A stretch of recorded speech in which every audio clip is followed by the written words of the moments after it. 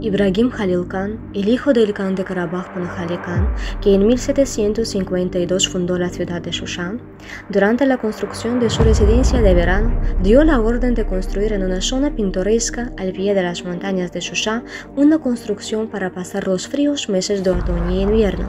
Esta área fue nombrada Han Kendi en honor a Ibrahim Khalil Khan. Más tarde, el hijo de Ibrahim Khalil Khan, Mehdi Khan, le regaló Han Kendi, donde su familia y parientes cercanos pasaban los meses de invierno a su amada esposa Perijahan Beyim. Después del Tratado de Kurakchay del 14 de mayo de 1805, que formalizó la anexión del Kanato de Karabaj al Imperio ruso, y del Tratado de Kirustán del 12 de octubre de 1813, se colocó un cuerpo de caballería ruso en Hankendi, interrumpiendo así la antigua vida tranquila y próspera de la aldea.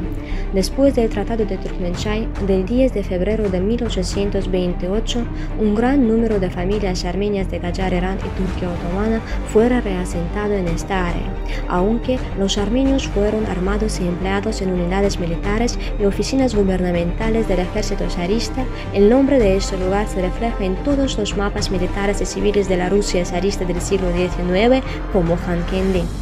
Aprovechando la situación después de la Primera Guerra Mundial, los armenios se volvieron más activos en Rusia con la llegada al poder de los bolcheviques y comenzaron a perseguir una ocupación de tierras codiciosas y una política de armenianización insidiosa en el Cáucaso, que no pudieron realizar en el Imperio Otomano. El primer fruto de esta actividad fue el establecimiento del Estado Armenia Soviética por primera vez en la historia en el territorio de las ciudades azerbaiyanas de Ereván, Nakhchivan y Zangezur, con la ayuda de la política del bolchevismo. Algún tiempo después, en la década de 1920, los armenios insatisfechos con los territorios tomados, con la inagotable codicia por la tierra, comenzaron a reclamar las tierras de Karabaj en Azerbaiyán y con la ayuda de las fuerzas armadas rusas comenzaron a expulsar a los pacíficos azerbaiyanos que les dieron tierras. Las provocaciones criminales y masacres cometidas contra azerbaiyanos dieron como resultado el establecimiento de la región autónoma de Nagorno-Karabaj dentro de Azerbaiyán en 1920. 1923. En 1923, Sergei Mironovich Kirov, de origen ruso, designado por Moscú como primer secretario del Comité Central del Partido Comunista de Azerbaiyán, cambió el nombre de la ciudad de Hankendi a Stepanakert. La ciudad fue nombrada en honor a Stepan Shauman, quien creó la dictadura comunista soviética en Bakú por decreto de la Rusia bolchevique, liderando personalmente el asesinato de más de 20.000 azerbaiyanos. A partir de 1988 se iniciaron manifestaciones no autorizadas financiadas por una red de diásporas armenias arraigadas en el extranjero y organizadas por emisarios nacionalistas que exigían la cesión de la región autónoma de Nagorno-Karabaj de Azerbaiyán y su traslado a Armenia. El primer objetivo de este movimiento, llamado Miatsum, es librar a la capital de la provincia de la población azerbaiyana, erradicar el rastro azerbaiyano, destruir mezquitas y monumentos históricos, armenizar los nombres de parques, calles, escuelas y instalaciones culturales y educativas.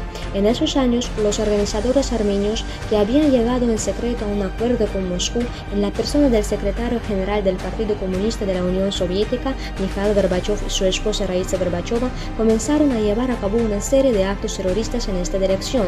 Las primeras víctimas de este terror son los estudiantes azerbaiyanos que estudian en la Universidad de Hankendi. Esos jóvenes fueron las primeras víctimas de la larga guerra de Karabaj.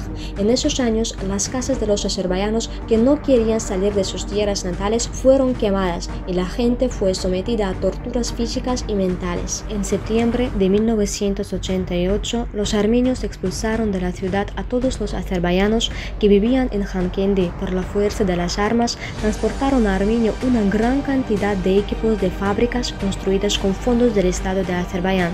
Las unidades militares armenias ilegales, los grupos terroristas terroristas reciben el control de las armas, el equipo militar de las unidades militares rusas en Nagorno-Karabaj.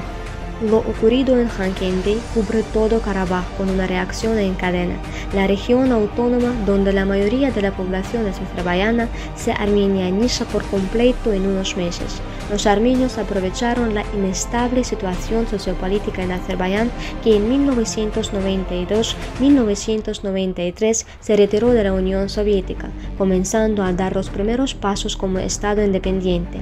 Y como resultado, los armenios lograron apoderarse de siete regiones de Azerbaiyán, Lachin, Kalbajar, Ahdam, Fizuli, Jabrail, Gubadli y Zengilan, en las que nunca han vivido los armenios. Las conversaciones diplomáticas sobre la devolución a Azerbaiyán de todos los territorios ocupados y la expulsión de los invasores, las cuatro resoluciones adoptadas por el Consejo de Seguridad de la Organización de las Naciones Unidas no dieron ningún resultado durante muchos años. Esta injusticia histórica y humana ha sido ignorada por la comunidad internacional y la política mundial durante muchos años, dando como resultado las nuevas reivindicaciones territoriales de los invasores armenios.